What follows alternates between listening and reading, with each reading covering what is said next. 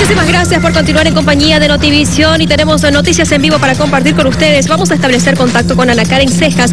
Ella se encuentra en los predios del campo ferial. En esta jornada, Karen, se están capacitando a los médicos que van a comenzar a atender a partir del día jueves a todos los pacientes que ingresen a este centro de aislamiento. Estamos con usted para más detalles. Muy buenas tardes.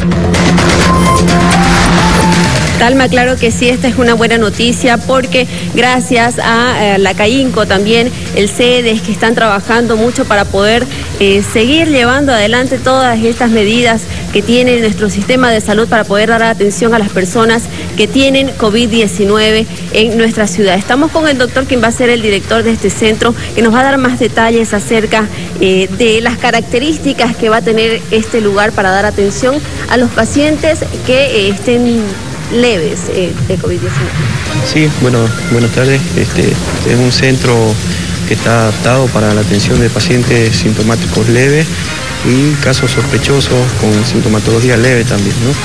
Estamos con un personal médico que se está capacitando para la recepción de estos pacientes, personal de enfermería, eh, viendo también los detalles de seguridad, este, lavandería, alimentación que va a servir para, ¿no? para tener una atención óptima para todos estos pacientes que, que así lo requieran.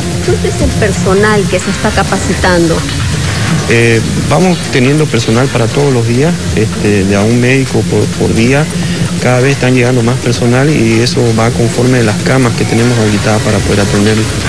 Este, un número exacto todavía no lo tenemos, pero eh, tenemos un número amplio para poder darle abasto a, a, gran cantidad de la población. Dentro de esta capacitación informaban también que se van a hacer algunos simulacros para poder dar acción rápida a cualquier emergencia.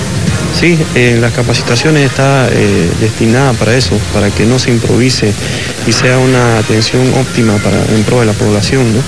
Entonces, en este transcurso de esta semana estamos eh, terminando todas las capacitaciones para que este, los detalles este, no pasen de largo porque esta enfermedad sí lo amerita, ¿no? Y se espera ya que el día jueves pueda ya abrir sus puertas para que los primeros pacientes ingresen y empiecen a ser tratados en este lugar.